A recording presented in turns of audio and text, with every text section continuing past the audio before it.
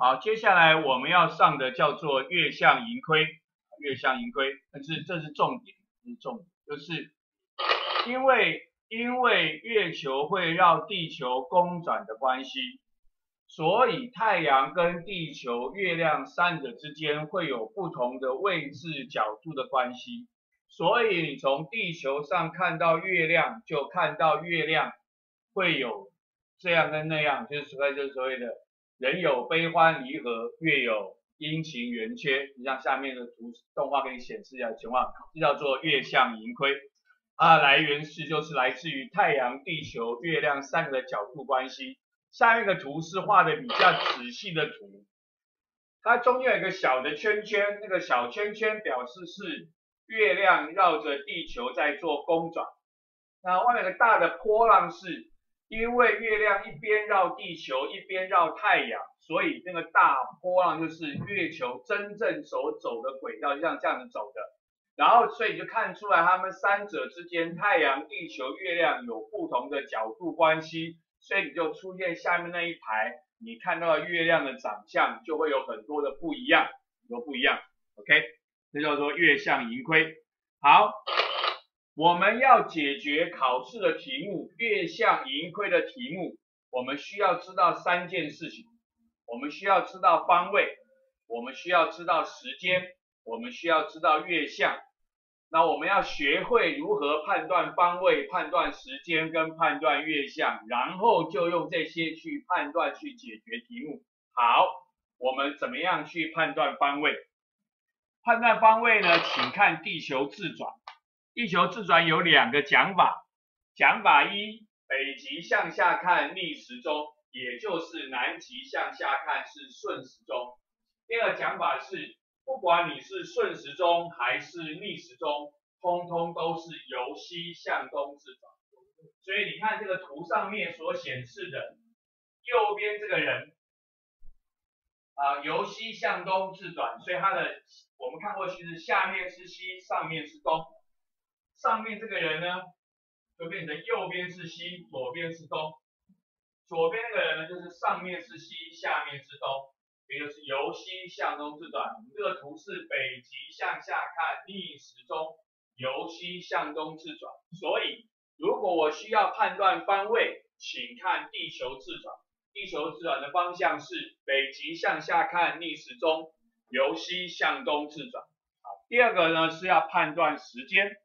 时间，你们在地理上学过时区，就是地球人在哪里，对不对？不同的地方有不同的时区，所以时区就是日地人的关系，日地人的关系，太阳、地球、人在什么地方，就是有时间、有时区，所以要有个太阳，要有个地球，然后人，我们右边这个人，我们右边有太阳是白天，左边没太阳是晚上，右边这个人。右边这个人在白天的中间，我们称为正午；左边那个人在晚上的中间，我们叫做子夜。上面那个是白天进晚上，叫做黄昏；下面的人是白晚上进白天，叫做清晨。所以我们就有正午、子夜、黄昏跟清晨。少数题目要求我要写上几点钟，我们就规定清晨是早上六点，正午是中午十二点。黄昏是下午六点十八点，实验是晚上十二点二十四点，这样规我们就这样子规定，这样做题目就对了。所以呢，如果要问我时间，要问我时间，请看日地人的关系，太阳、地球、人在哪里，我就能够定出所谓的时间，那么所谓的时间。那月相呢？月相刚刚讲过，会有阴晴圆缺，是因为。太阳、地球、月亮三者的角度关系，所以是太阳、地球、月亮三者的关系。那么月亮现在在右边这里，太阳照过来，右边是亮的，左边是暗的。地球看过去看到一个黑黑的暗的月亮，这个称之为朔。太阳走到左边这边过来，右边是亮的，左边是暗的。地球看到一个整个都是亮月亮，这叫做所谓的望，说它的望。然后呢？上面跟下面看会都是一半的月亮，就叫做所谓的弦月。上面的叫做上弦，下面叫做下弦。为什么？因为上面的先到，下面后到。我怎么知道谁先到谁后到。太阳系的运动，除了少数国中不交的例外之外，运动方向都一样。也就是说，如果地球是逆时钟自转，月球也是逆时钟公转。如果地球画的是顺时钟自转，那月球也是顺时钟公转。我们的转动方向大家都一样，有少数例外，国中不教，我们通都一样。所以你看到它上面是先到，我们就称之为下行；下面是后到，我们就称之为下行。OK，好，我们的结论可以这样子说：太阳、地球、月亮卡中间的叫做朔，放旁边的叫做望，先到的叫做上弦，后到的叫做下弦。OK 吗？可以吗？OK，好。那如果你会判断，如果你会判断时间，会判断方位，会判断月相之后，那我们就可以来解决题目，就可以来解决题目了。是回答下列问题：第一个，上弦月黄昏时，月亮在哪里？好，老师说。考试的时候，考试的时候，考试的时候，那个第一步画地球，画太阳，画地球，画太阳，太阳画哪里不重要，但是要画，因为你有太阳之后，你有太阳之后，你才知道谁是卡中间的朔，谁是放旁边的望。谁是白天的中间叫正午，谁是晚上的中间叫子夜。所以第一个步骤画地球画太阳。第二，让地球会转，顺时钟转、逆时钟转没关系，随便都可以，但是要它会转，要它会转。为什么？因为你要它会转，你才知道谁是先到的上弦，谁是后到的下弦，谁是后到的下弦。谁是白天进晚上，谁是晚上进白天？OK，好，这叫做基本动作。基本动作都做完以后，基本动作都做完以后，开始看题目的要求。题目的要求，哇，上弦月黄昏时。好，请问你这个图上下左右，月亮在哪一边是上弦月？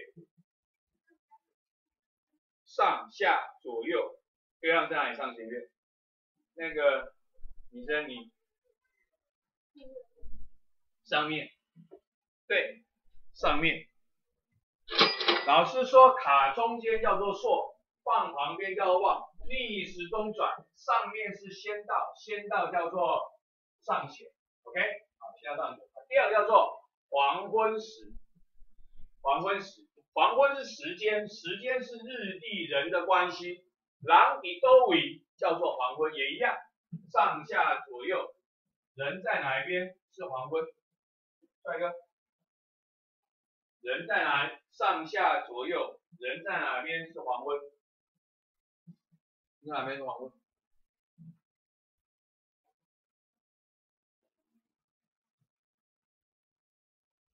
u，。白天的中间叫正午，晚上的中间叫子夜。白天进晚上叫黄昏，晚上进白天叫做清晨。所以上下左右，人在哪边叫做黄昏？下面很好，错，上面。右边是白天，太阳嘛，对不对？右边是白天，左边是晚上，看出来吗？看出来吗？右边是白天，左边晚上。然后呢，逆时钟转，所以上面是什么？上面是白天进晚上，所以叫做黄昏。下面是什么？晚上进白天叫做清晨。所以人在上面，OK 吗？好。哎，牛底多位嘞？底多位就是方位嘛。老师说方位要，老师说方位要看谁？老师刚才教方位要看谁定方位？我刚才教你要看什么定方位？地球自转，所以地球怎么转？北极下看逆时钟嘛，对不对？画了逆时钟，然后呢，再纵轴下去，不管顺时钟、逆时钟怎么都怎么转，由西向东转，由西向东转，哇，月亮也不在西边，也不在东边，画在前面，画在前面是什么意思？画在前面的意思，文言文，文言文，通过子午线，通过子午线，啥叫子午线？把你们在地理上所学的经线放大到天上，就叫子午线。OK，地理上学的叫经线，拉到天上就叫所谓的子午线。文叫做通过子午线，普通文言文叫做天顶附近。白话文叫做头顶附近，头顶附近，所以它在头顶附近。这个是立体的图压扁，你想象一下，你站在这里，现在在这边头上有一个地方，然后月亮在头旁边一点点，然后先把它压扁，压到一张纸上画，画你的前面。看懂听懂我意思吗？啊，我人在这边，月亮在这边，然后压扁，压到一张纸上，就放在我的前面嘛，听懂哈？听懂，所以它在头顶附近，所以上弦月黄昏时，月亮在我的头顶附近。我们接下来看下一个，上弦月的月亮什么时候升起，什么时候落下？老师说第一步做什么？画地球，画太阳。太阳画哪里？不重要。第二步让地球会转，怎么转？不重要。